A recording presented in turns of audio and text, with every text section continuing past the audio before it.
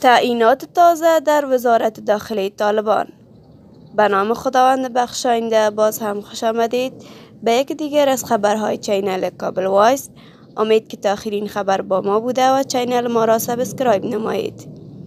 روزنامه اطلاعات روز در صفحه رسمی فیسبوک خود می نویسد طالبان به تازگی برای دست کم 15 معینیت ریاست و فرماندهی عمومی وزارت داخله افراد تازه را تعیین کردهاند. وزارت داخلی طالبان گفته است که این تعیینات به منظور پیشبرد بهتر امور و ارائه خدمات بهتر صورت گرفته است. بر اساس تعیینات تازه مولوی نور جلال به حیث معین تعلیمات و پرسونل عبدالله خان به حیث معین مبارزه با مواد مخدر و مولوی شمس الدین منصور به حیث معین پالیسی و استراتژی وزارت داخله تعیین شدهاند. همچنین وزیر حقانی به حیث رئیس عمومی پلان و اپراسیون مولوی زین الله به حیث رئیس عمومی دفتر وزیر نورالله حافظ به حیث رئیس عمومی اطفاییه سید نورالله مراد به حیث رئیس عمومی پلیس ترافیک شیر محمد شریف به حیث رئیس عمومی پلیس سرحدی و مولوی علم گلحقانی به حیث رئیس عمومی پاسپورت تعیین شدهاند. همینطور مولوی موسی به حیث رئیس عمومی امنیت داخلی مولوی عارف الله به حیث رئیس ارتباط خارجه مولوی عبدالحکیم حمدی به حیث رئیس مطبوعات و روابط عامه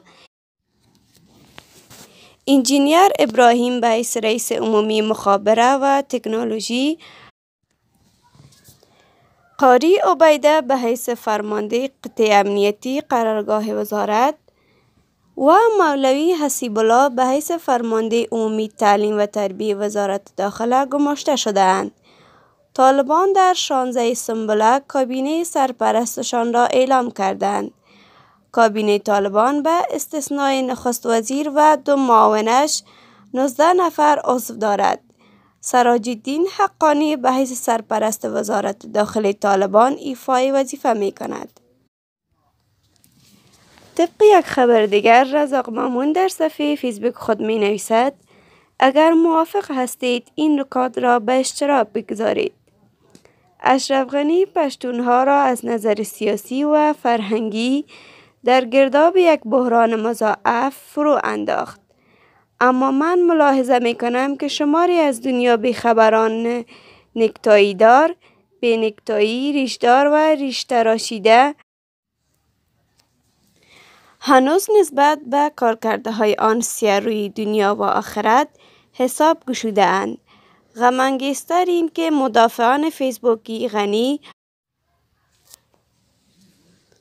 اکنون به اندرزگویان و همراهان امارت فیض حمید تبدیل شدهاند. این رخ قضیه در گذشته چندان برجسته نبود. اکنون آشکار شده است و این برای آینده همزیستی در افغانستان یا جغرافیای احتمالا قابل تغییر یک دشمن ثابت آفریده است. من با آن عده پشتونهای مدرنیزه شده دارای وسعت فکر و وفاداران های انسانی می اندیشم که چقدر ممکن است زیر سایه ابرهای انحطاط عصر نو تحت فشار قرار گرفتند. پشتون تحت مدیریت بازیگران بازی بزرگ رفت. نوبت به تاجک رسیده است. خطر تبدیل سازمان مند تاجک به داعش وجود دارد. پول بازیگران از انجام هر ناممکنی برمی آید. پنشیر در اثر تحرکات حزب تحریر سقوط کرد. گذشته از این شما به گفتار و کردار مولوی فسیح الدین بدخشانی توجه کنید. اگر جنبش مقاومت ملی برای نجات مدنیت افغانستان برای همه به اسرع وقت به حساب طالبان و آدم کشان تاجک در بدخشان و دیگر مناطق رسیدگی نتواند جنازه همه طیف های ساکن در افغانستان به نفع آیس آی خوانده خواهد شد. از نظر من مقاومت ملی یک شاخه در سیاهی جنگل به سوی نور فریاد می کشد. این جبهه را باید حمایت کنیم تا بدین وسیله یک راه پیدا شود تا افراطیت پشتونی و تاجیکی و ازبکی به نفع آینده نسلهای کشور خفه منهدم و معدوم گردد پشتون باید از اشرف غنی درس عبرت بگیرد و تاجک از امرالله و عطانور و زیا مسعود. و هزاره از سرور دانش و ازبک از اسماعیل غزنفر و عالم سایی غداری و دغلی این چنین عاقبت دارد. طبق یک خبر دیگر صفحه اخبار جبهه مقاومت در صفحه رسمی فیسبوک خود می نویسد وضعیت عمومی پنشیر از زبان فرمانده سلطان محمد. مقاومت ادامه دارد. طبق یک خبر دیگر آماج نیوز در صفحه رسمی فیسبوک خود می نویسد جبهه مقاومت موزگیری های رژیم طالبان در مقابل بانوان اشاره بر دیدگاه گذشته نگران ها دارد که می‌گویند زنها باید در خانه بمانند.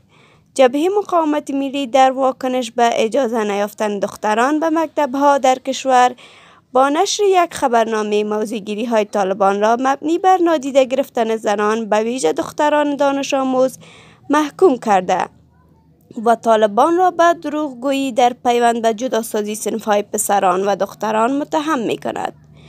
در این خبرنامه آمده است که طالبان با بیان اینکه های دختران و پسران را از هم جدا می کنند دروغ محض است اما واقعیت این است که مکتب های متوسط دختران و پسران از ابتدا تا حال در افغانستان جدا بوده است و هرگز نباید این موضوع مطرح شود. در این خبرنامه افزوده شده که موزیگیری های رژیم طالبان در مقابل دختران اشاره بر دیدگاه های گذشته نگران ها دارد که می‌گویند زنها باید در خانه بمانند و کار کنند. ناآگاهی کامل از واقعیت دیرینه نظام آموزش متوسط در کشور به طبیعت بیگانگی رژیم طالبان روشنی می اندازد.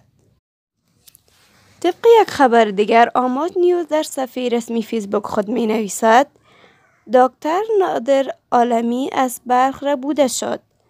منابع امنیتی طالبان در بلخ به آموز نیوز تایید می کنند که دکتر نادر عالمی از دکتران سرشناس بلخ پس از چاشت امروز از سوی افراد ناشناس ربوده شده است. اقارب نزدیک آقای عالمی نیز با تایید این موضوع به آماج می گویند که او از نزدیک خانهاش ربوده شده است. با تشکر از اینکه تا آخرین خبر با ما بودید جهت حمایت کانال یوتیوب Kabul Voice را subscribe نمایید تا از خبرهای جدید و روزانه ما با خبر شوید.